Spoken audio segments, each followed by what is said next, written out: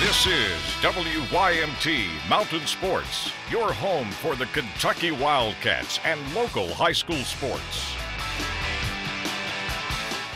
It is safe to say that running back Benny Snell has been a pleasant surprise this season for Mark Stoops' offense. Snell has seen his playing time increase in the absence of senior JoJo Kemp, who is recovering from a hand injury. But is the freshman's workload too much? Stoops says that is dictated by how the game flows and whether or not Kemp eventually returns to the lineup.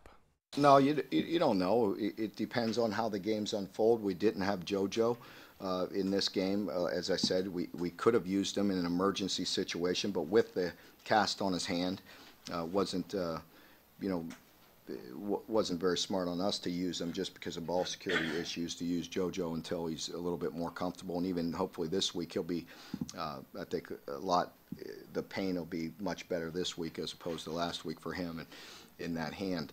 Uh, but Benny, he can carry the load, and, and, again, we talked about capacity. We talked about capacity with Boom. He can handle more as well, but it was a nice combination this past week. That time of the week once again when we count down the UPike top five plays of the week. These from the final week of the high school football regular season. We start at number five, Ethan Varney of Prestonsburg. Looked to be stopped at the line, but busts through and takes it all the way in for the Black Cat touchdown. Number four, Johnson Central running back Joe Jackson on the first play from scrimmage, 80 yards against the top ranked Belfry Pirates for the touchdown. We stay in Paintsville for number three. Belfry's Tavion Hunter fields the second half kickoff, returns it for a Pirate touchdown in the 21-16 win. We go to our game of the week for plays one and two at number two. Cameron Sizemore of Corbin rolls left, fires downfield. Caleb Mitchell makes the leaping grab in traffic for the Red Hound touchdown.